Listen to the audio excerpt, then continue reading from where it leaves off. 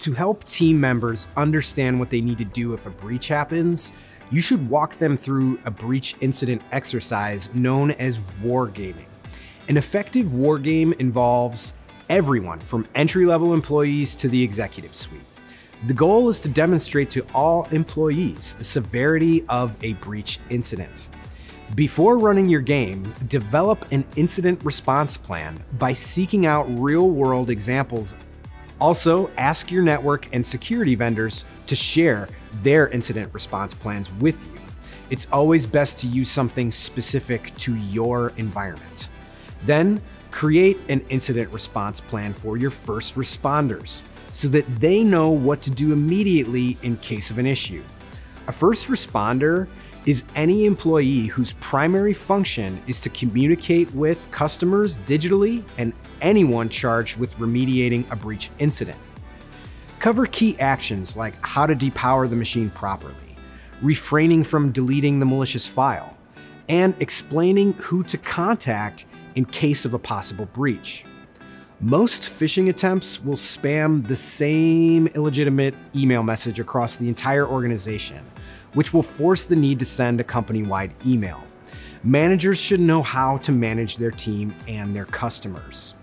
Lastly, the communications team should have a break glass in case of emergency kit at the ready for a breach incident.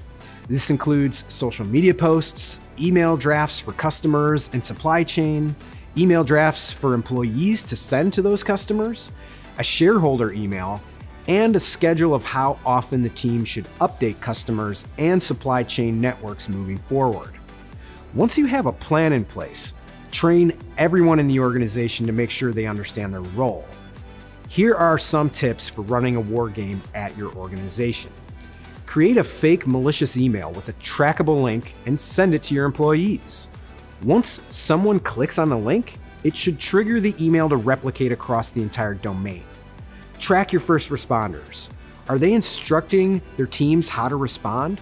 Which team has zero response? Were they isolated or did they just ignore it? Compare the responses.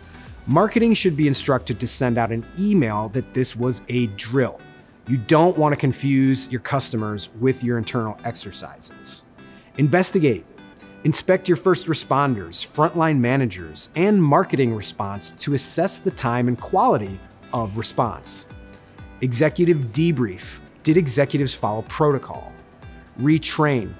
Applying retraining as needed to those who did not execute a high enough standard.